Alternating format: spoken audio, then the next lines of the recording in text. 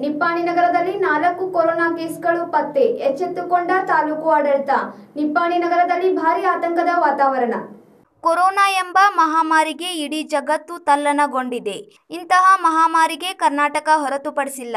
ನೆರೆಯ ಮಹಾರಾಷ್ಟ್ರದಲ್ಲಿ ಕೊರೋನಾ ರೋಗದ ಎರಡನೇ ಅಲಿಯು ಬಹಳ ಜೋರಾಗಿದೆ. ಇದರಿಂದ ನಮ್ಮ ಕರ್ನಾಟಕದ ಹೆಬ್ಬಾಗಿಲು ಆಗಿರುವ ನಿಪ್ಪಾಣಿ ನಗರದಲ್ಲಿ ಭಾರಿ ಆತಂಕ ಮೂಡಿಸಿದೆ. ಈ ಹಿನ್ನೆಲೆಯಲ್ಲಿ ನಿನ್ನೆ ದಿನ ನಗರದಲ್ಲಿ ನಾಲ್ಕು ಕೊರೋನಾ ಕೇಸುಗಳು ಪತ್ತೆಯಾಗಿವೆ.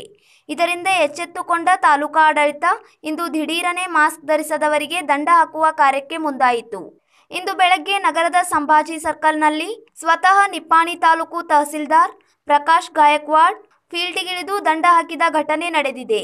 ಈ ವೇಳೆ ಪೊಲೀಸ್ ಉಪನಿರೀಕ್ಷಕರಾದ ಸಂತೋಷ್ ಸತ್ತನಾಯಿಕ್ ಹಾಗೂ ಪಿಎಸ್ಐಗಳಾದ ಅನಿಲ್ ಕುಂಬಾರ್, ಬಾಳಪ್ಪ ತಳವಾರ್, ಅನಿತಾ ರಾಥೋಡ್, ನಗರಸಭೆಯ ಪೌರಾಯುಕ್ತ ಮಹಾವೀರ್ ಬೋರನ್ನವರ್ ನೇತೃತ್ವದಲ್ಲಿ ನಡೆದ ದಾಳಿಯಲ್ಲಿ ಎರಡ್ನೂರಕ್ಕಿಂತ ಹೆಚ್ಚು ಬೈಕ್ ಸವಾರರಿಗೆ ದಂಡ ಹಾಕಿದರು.